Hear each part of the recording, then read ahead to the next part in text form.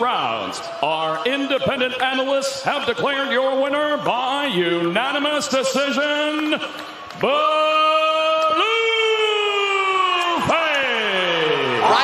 deserved. Rightfully deserved. A clean win by Blueface. I mean, it was crystal clear that he was the better fighter tonight. He didn't get the knockout, but he still came out, showed the world what he can do, and now it's going to be interesting to see who Blueface gets in the ring with next. Oh, that's big. Oh, oh! Whoa! Oh my God! This is unbelievable. Oh my God! Fan jumps in the ring and punch Blueface. Yo! Back. Yo! It's an all-out war inside the ring, Oh ladies and my gentlemen. God! Blueface Oh my just- God! Oh my God! Oh, we got police officers in here trying to get to the bottom of this. Blueface is over in the corner. Calm down right now. Looks like he is protected, but it looks like Who was that? a Who cra- caused It that? looks like a crazed fan ran up and attacked Blueface. When he got checked to the jaw by Blueface with a clean right with his fist.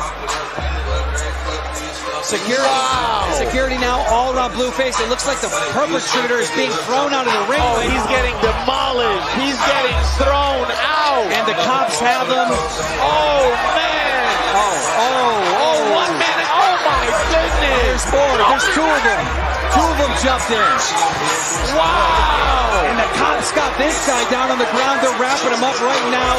Sean, if you want to talk about viral, this just went viral. This really happened right here at the BKFC 19. And I got to stand up on my chair. Oh my. God. And we got the commissioner out there trying to calm things down.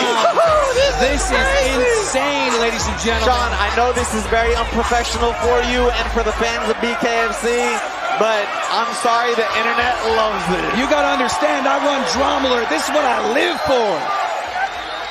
And it looks like two people have been brought into custody. Oh man, they do not know who they're stepping up to. Unfortunately, I feel like we're gonna miss out on the interview with Blueface now. Well, I'll tell you this. I don't know if someone in the back has a replay or if they could even show that, but I'd love to see it. Oh, he caught him with a clean right. That's a That's a bigger punch that landed than in the fight. That's insane. That's really poor sportsmanship by the fans that jumped in the ring. Blueface put it all on the line as a hip hop superstar and came in to defend his rights to be a rapper. To get disrespected like that is just not right, especially when he's exhausted after a fight. I knew it was serious when my broadcast partner Chris Lights Out Lytle jumped into the ring to restore order. Blueface very impressive over the full three rounds in six minutes. Long straight punches.